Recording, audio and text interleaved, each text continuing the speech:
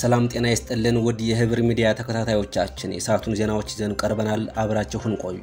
ለቻናላችን አዲስ የሆናችሁ subscribe በማድረግ ቤተሰብ እንዲሆኑ እየጠየቅን በፕሮግራማችን ላይ ያላችሁን ማንኛውንም ሀሳብ አስተያየታችሁ comment መስጫ ሳጥኑ ላይ ያስቀምጡልን። ወደ ዕለቱ ዜናዎቻችን እናልፋለን። አዳርቃይ ከተማና በአካባቢው የሚኖሩ የህወሓት ደጋፊዎችና ቤተሰቦች ከተማውን ለቀው እንዲወጡ የሽብር ቡድኑ መልእክት አስተላልፏል ተባለ።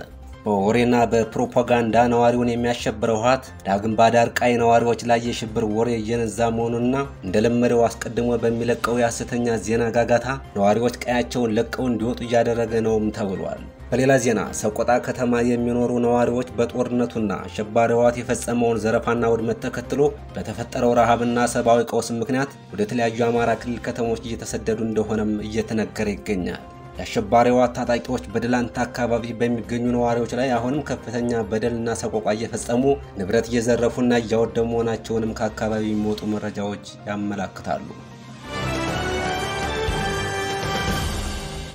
አሜሪካ በሽብር ላይ አካሄድኩ ባለችው ጦርነት ከ37 ሚሊዮን በላይ ዜጎች ከተለያዩ ሀገራት ተፈናቅለዋል ተባለ።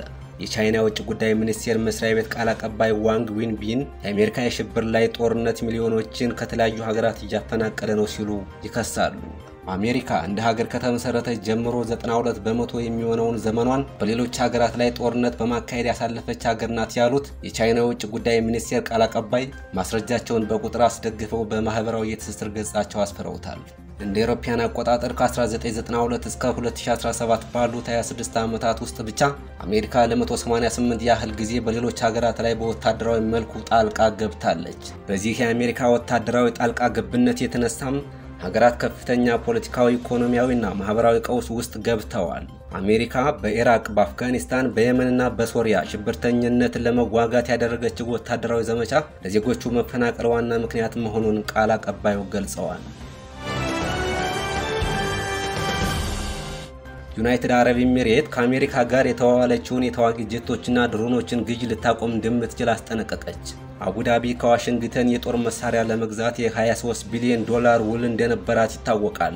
የአሜሪካ ውጭ ጉዳይ ሚኒስቴር ሀገራቸው ድሮኖችን ለዩናይትድ አረብ ኤሚሬት ለመሸጥ የጀመረችው ሂደት እንዲቀጥል ፍላጎት አላት ብለዋል። የተባበሩት አረብ ኤሚሬቶች ከአሜሪካ ልትገዛቸው የነበሩ F 35 ተዋጊ ጀቶችንና ሰው አልባ የጦር አውሮፕላኖችን ወይም ድሮኖችን ግዥ ልታቆም እንደምትችል ማስጠንቀቋ ተገልጿል። ሀገሪቱ ሌላ አማራጭ ማየት ስለመጀመሯ የተገለጸ ሲሆን የተዋጊ ጀቶችንና ሌሎች ዘመናዊ ጥይቶችን ግዥ ልታቆም እንደምትችልም ተጠቅሷል።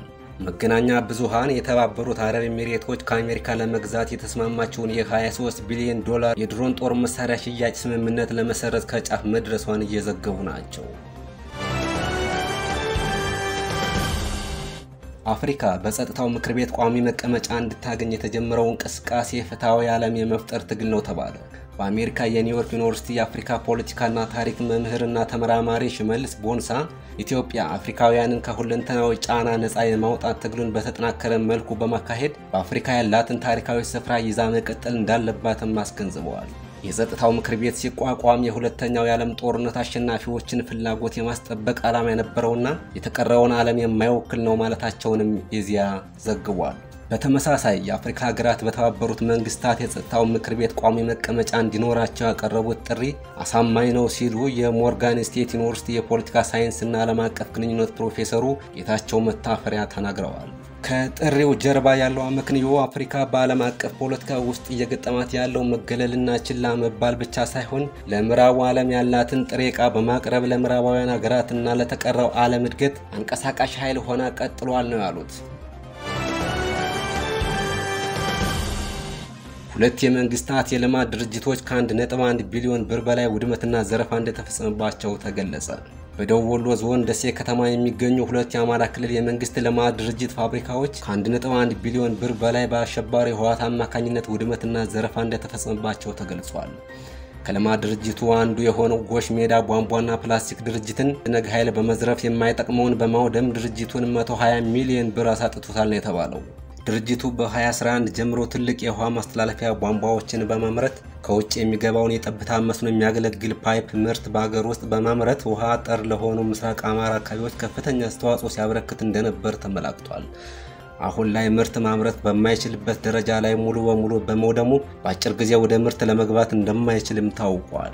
ሌላኛው የክልሉ የልማት ድርጅት የሆነው የአማራ ህንፃ ስራዎች ኮንስትራክሽን ድርጅት የደሴ የግንባታ ግብዓት ማዕከል አሸባሪው ኃይል አንድ ቢሊዮን የሚጠጋ የማምረቻ ማሽኖች፣ መጋዘኖችና ተሽከርካሪዎች ዘረፋና ውድመት አድርሶበታል።